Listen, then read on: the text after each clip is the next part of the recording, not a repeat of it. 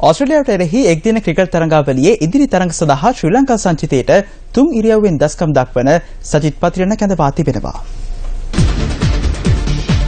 තරග පහකින් සමන්විත තරගාවලියේ සිව්වැනි තරගයේ දිවා රාත්‍රී තරගයක් ලෙස රන්ගිරි දඹුලු ක්‍රීඩාංගණයේදී හෙට පැවැත්වෙනවා.